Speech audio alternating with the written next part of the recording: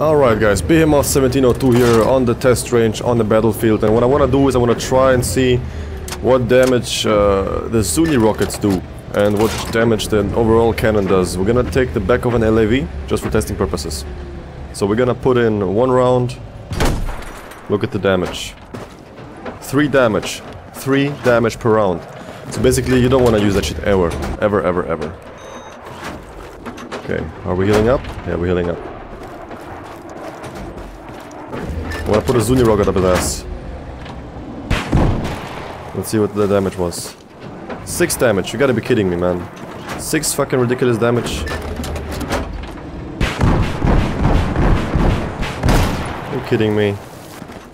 This is ridiculous, man. Let's see how it behaves if you put it on the side of this. Healing back up.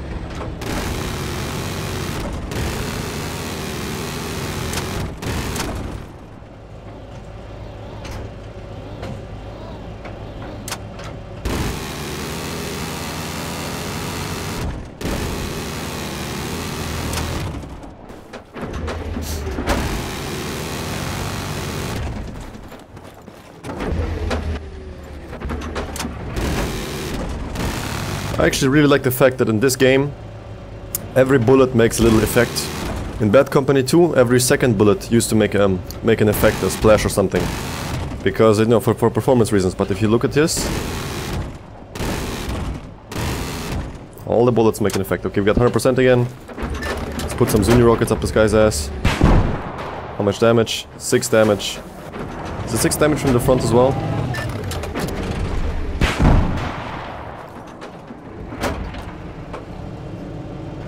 Apparently.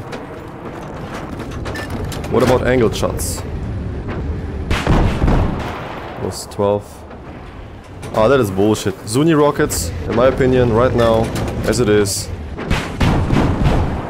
fucking useless. Ridiculous, man.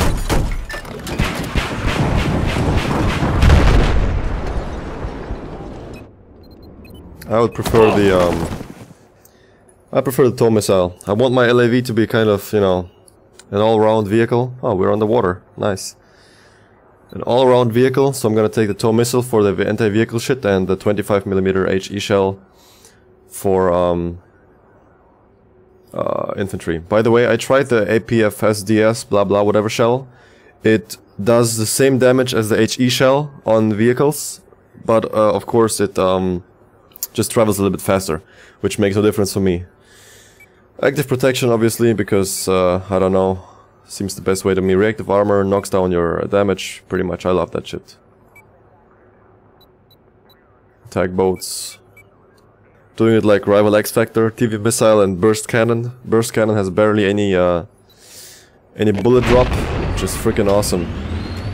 You can take down air vehicles really quickly with that shit. Look at that.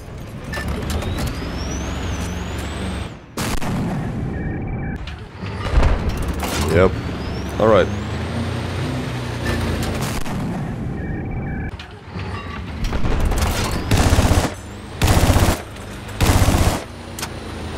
Alright, this is it. I'm out.